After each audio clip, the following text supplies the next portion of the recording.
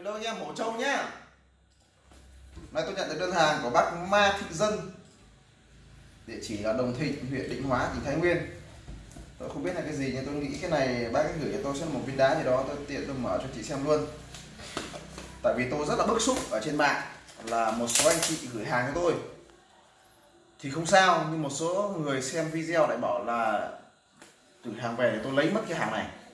Nói thật với anh chị là nhà tôi thiếu gì Đá tôi đầy mà những đồ anh chị gửi về nó có phải là đồ xịn đâu. Tôi mất công kìa tí tôi cho anh chị xem tôi quay còn vất đống vứt ra ngoài kia mà tôi phải mất tiền mỗi lần cho bác lao công mất 50 nghìn để để chuyển lại chuyển cái đá mà không đúng ra cho anh chị ý. khổ lắm anh chị ạ. Đây là cái gì đây? À. Rồi. Tôi biết bác này. Đây hải có thể quay vào đây đây là một viên tóc đỏ. Tôi nhớ cái à, viên này rồi. Thì à, hôm qua cái anh khách hàng của tôi ấy, anh anh anh thịnh như này, anh có gọi điện cho tôi là anh ấy muốn gửi tặng cho tôi viên đá này. Và anh ấy có nhã ý là nếu mà tôi có một viên túc liên xanh nào thì tặng lại cho anh ấy. Ok, tí tôi sẽ tìm một viên túc xanh pha xét tôi sẽ kiểm định để tặng lại cho anh ấy nhá. Rồi cái viên đá này trước hết là cũng cảm ơn anh.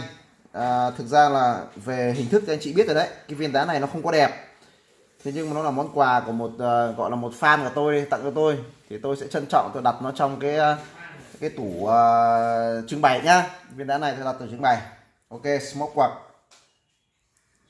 và tôi cũng sẽ hỏi thêm anh Thịnh về nguồn gốc xuất xứ của loại này vì thường thì những cái loại tóc như này đây anh Hải có nhìn thấy rõ tóc không?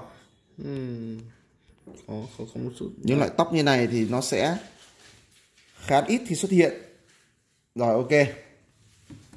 Rồi ta sẽ đặt ở đây. Đặt trong tủ trưng bày nhá và mai sẽ để lại đây thôi. Mai ta sẽ trưng bày lại anh thắng nhá. Sẽ có thể sắp xếp lại cái này. Thì ở đây tôi có rất nhiều loại đá ở đây. Là một cái chỗ à, không gian riêng để trưng bày cửa hàng thôi. Còn một cái thông tin nữa mà tôi chưa thông báo với anh chị là vừa rồi thì tôi mới chuyển về khoảng 150 kg sapphire rất nhiều rất nhiều. Và tôi cũng mới mới mở thử một hộp thôi. Cũng chưa hay là anh Hải sang đây. Anh Hải đi với tôi. Cho anh công video xem luôn nhá. Xem luôn sapphire thế nào. Anh Hải sang gara nhá. À được rồi. Đây.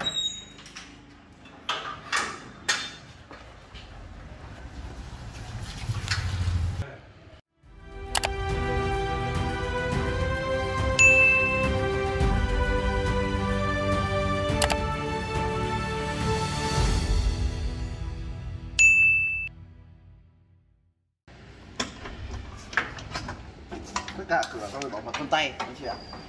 Đấy, đây.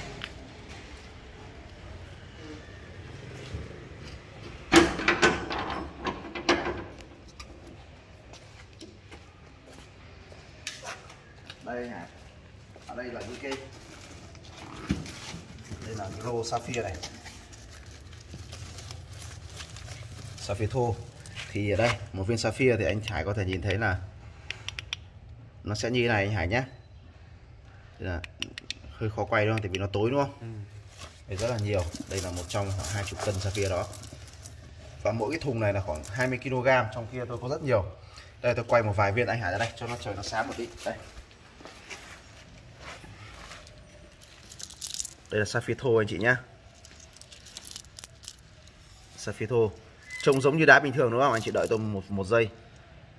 Tôi sẽ cho nước vào đây là sapphire thì anh chị có thể thấy là trên bề mặt của nó này nó có những cái mặt phẳng tự nhiên như thế này.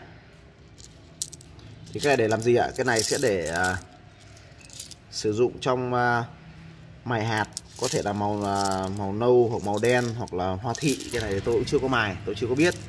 Thì vì rất nhiều nó có hàng hàng hàng hàng hàng vài trăm ngàn viên như này. Rất là nhiều vì là tận tận những hơn một tạ cơ tạ rưỡi cơ đây này anh chị. Đó.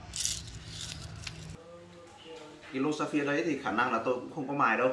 Tôi sẽ để nguyên thôi. Và mục đích để làm gì ạ? Mục đích để chuẩn bị tôi cùng cộng sự của tôi sẽ tạo ra một bộ sưu tập. À, tôi dự kiến là sẽ gồm có 6 hàng và và 4 cột. Là 6 4 là 24 24 ô. Và mỗi ô sẽ là một loại đá tự nhiên hoàn toàn gồm có từ ruby sapphire với tất cả các loại để Ờ, và thông tin mỗi viên đá thì sẽ có cả tỷ trọng, cả nguồn gốc các thứ, rất cả các nơi. Để tôi dành cho các anh chị nào sưu tập nhá muốn sưu tập những cái bộ sưu tập đấy thì tôi ờ, sau khi xử lý xong tôi sẽ công bố cho anh chị. Và đây là những cái ờ, dữ liệu nguồn tôi đưa vào. Ok, cảm ơn anh chị rất nhiều. Xin chào và tạm biệt anh chị.